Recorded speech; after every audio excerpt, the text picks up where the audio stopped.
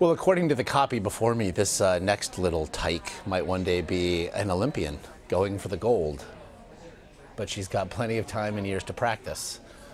Um, although not water skiing, because I'm not sure that's an Olympic sport. I'm also not sure that she's doing this of her own will.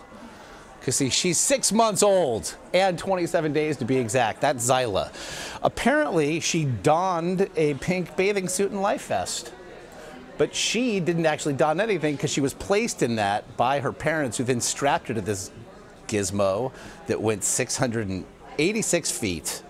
Um, and now she's a record holder as the youngest water skier um, or a six month old hostage.